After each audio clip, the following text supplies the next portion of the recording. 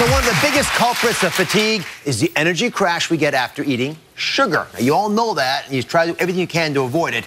So the next piece of Dr. Landa's Fatigue Solution is a brand new sugar substitute that she says will satisfy your sweet tooth without crashing your energy. So what is this new alternative? You know, I've got a major sweet tooth, and I found that the sugar was something that was really crashing my energy. So this is an awesome alternative. It's a new thing called monk fruit. Well, it's not a new thing. That would be totally mistaking it.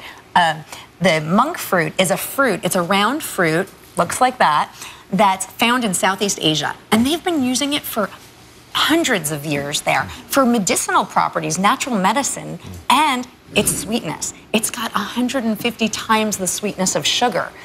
And now they're putting it into sweeteners. So I get mine at my local health food store in the form Luo Han Guo, like this. But you can also now, excitingly, find it in conventional supermarkets, in the orange packets, the monk fruit. So a lot of you are unhappy with the blues, the pinks, and the yellows, but no more. Forget about these. Make room for the orange. That's what it's going to look like. This is going to change your life.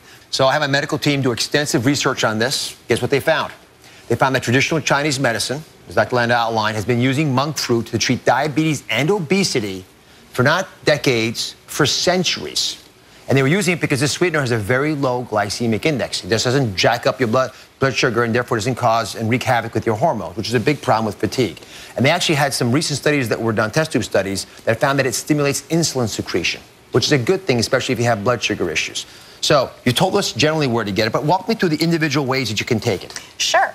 Absolutely. So you can get it in the packet form, mm. so you can add it to beverages and things like that. You can get it in the dropper form as well, mm. and that's great to have on the go in your purse, drop it into your coffee, things like that.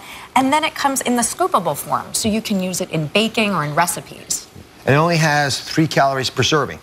Three calories per serving means it basically is dietetically considered zero calories by the FDA. So I want you today to go out and find some of this stuff. It's, and we checked it out. You can actually find it now. And when you find the monk fruit, I want you to use it in your coffee or tea tomorrow morning. Uh, you want to look for pure monk fruit sweetener with no added sugar or alcohols. You don't want to get any crazy stuff in there. Can I take a taste of it? Yeah, let's This is my it. inaugural, my virginal taste awesome. of monk fruit. Let's see. Cheers. This is really good. It's very fruity. You know, I love when I find new things like this. No, it really, it's, it's, it's, a, it's wonderful for me to, as a scientist to find, or as a doctor, but I think it's great for all of you at least to give this a shot. As a, and something that I think, if we talk about this a month from now, everyone's going to say, oh, I know about monk fruit all the way back when. but now you'll actually have heard it here first. Take it, use it, try it, and please send us some feedback. I love hearing when folks like things, and if you don't like it, I want to hear about that too. All right, up next, the surprising reason you are fatigued could be hiding in your medicine cabinet. Stay with us.